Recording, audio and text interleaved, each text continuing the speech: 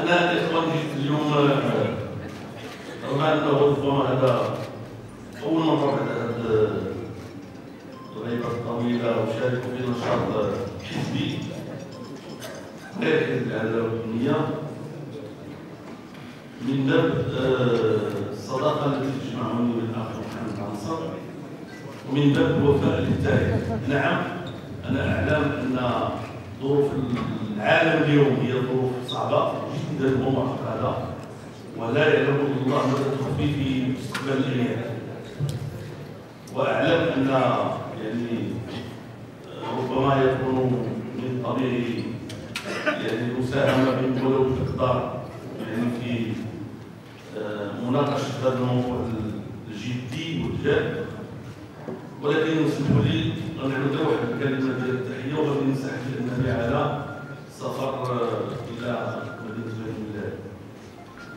الكلمة هذه الاخوان مرتبطه بالتاريخ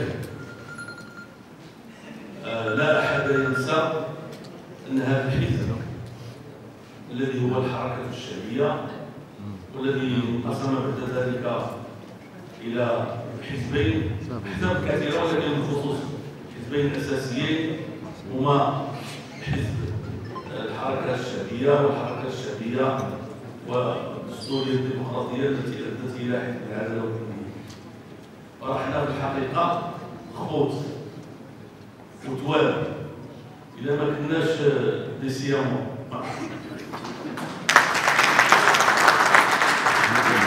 هذا هذا هذا الإشكال كاين جوج ديال الناس أساسيين.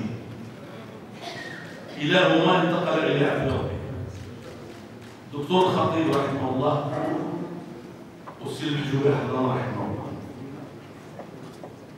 وبجوجهم أنا تعرفت عليهم بجوج واشتغلت مع السي عبد الكريم الخطيب بطبيعه الحال كما لا يخفى عليكم. وكنت جد مقرب من الأخ سي المحجوبي أحرضان رحمه الله. هاد الجوج ديال الناس قدموا للوطن خدمة لا تقدر ويمكن لكم أنها قد تكون إن لم تكن أكبر خدمة قدمت للوطن فئه سياسيه فها فهذين الرجلين قدما خدمة. يعني كبيرة جدا باجتماعهما في بداية الاستقلال وعملهما المشترك.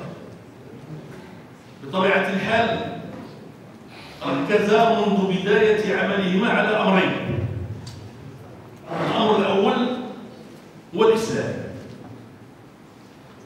واللي كيعرف الدكتور الخطيب كيعرف المسار ديالو كله كان مطبوع ماشي بالإسلام كدين لأنه هو مسلم بحال المغاربة كاملين إلا يعني قلة قليلة. إما من الذين كانت لهم ديانه أخرى كاليهود أو بعض الملاحدة. هداهم الله. على كل حال المسألة الثانية هي الملكية سمحوا لي ويسمح لي السيد بن عبد الله ويسمح لي الإخوان اليساريين ويسمح لي واحد العدد ديال الناس. واحد الوقت ما كانش ملكية عليها إجماع. وكان من الصعيب باش تقول بلي أنا ملكي. وأنا كنتكلم معكم وكذلك بالتجربة ديالي. السي الحجوي الحضار والسي عبد الكريم الخضيب عمرهم ما تزعزعوا في الموقف ديالهم الملكي. ما تزعزعوا في الموقف ديالهم الملكي.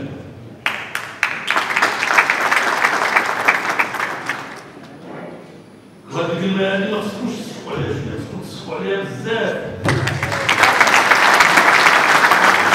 علاش علاش لأنه بعد الله سبحانه وتعالى وهذا الدين اللي جمعنا الملكية هي اللي جمعنا الله بها في في القرون السابقة وخصوصا مع ملوكنا الثلاثة محمد الخامس رحمه الله الحسن الثاني ومحمد السادس.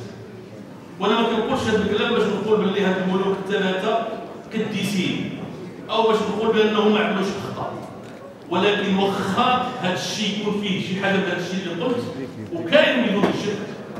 ولكن المغاربة كيعرفوا بعض الله الملك. وهذا الحزب هذا حزب الحركة الشعبية وإن اليوم وحزب العدالة والتنميه وإن اليوم. ولكن الحمد لله اليوم كل شيء الأحزاب رجعت لعقلها والصواب ونضجات النضج اللي كان عند هاد الجوج ديال الناس في النهار الأول ان كنت فعلا المنطق الآخر اللي كان كل يوم نعرفوا راسنا من رجلينا نشاط ديال الجامعة الشعبية آه، تنظم هذه الدورة الثانية عشر حول موضوع يعني تنعتبره أنه راهن أنه آه، موضوع يهم آه، جميع المغاربة. ألا وهي يعني الدولة الاجتماعية وما هي الرهانات التي تواجهنا الآن خصوصا في الظرفية العالمية والظرفية التي يعيشها الشعب المغربي من صعوبات من غلاء وكذلك من تداعيات يعني الحروب التي تدور في في العالم. ولكن في نفس الوقت يعني كنا ارتأينا أن تكون هذه مناسبة لتكريم رجل وطني كان له يعني دور كبير في إنشاء الحركة الشعبية ألا وهو المرحوم الحسن اليوسي التي أطلقنا اسمه على الأكاديمية الحزبية. شكرا. لقاء مهم جدا. تلقوا فيه الهيئات السياسية من أقطاب مختلفة يمين يسار وسط.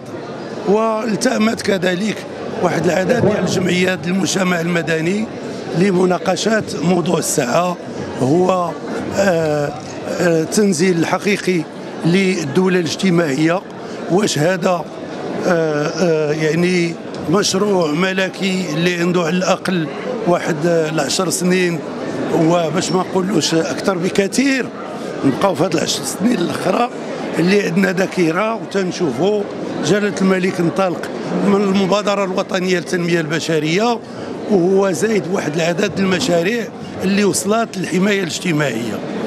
إحنا اليوم بغينا نديروا واحد التقييم. اليوم بغينا نناقشوا غلاء الأسعار حياة وانتظارات المواطنين معاناتهم. تنتظروا طبعا التوصيات اللي غت تنتج على آه، العمل ديالنا وأكيد على أن التوصيات غتدفع الحكومة لتغيير الرأي ديالها في التعامل. مثلا مع الفلاح خصنا ندعموا الفلاح. خصنا نحاربوا الوسطاء والفلاح اللي دابا الليمون ديالو بقى في الشجرة وتيعطي الماء تيقول الناس يخوض حيدوا خذ ما يمكنش نستمروا مطيشه ولا الثمن ديالها قد قد ليترون تاع ليسونس هاد المحروقات خص لابد ما تدخل الحكومة. لكن كنا عايشين هذه عشرات السنين. وعلاش دابا غادي نبقاو في هذا المخاض اللي ما غادي ينتهيش؟ كي عاش المغرب سابقا يمكن له يستمر. نحن مع دعم المواطن الفقير. ما يمكنش نستمر.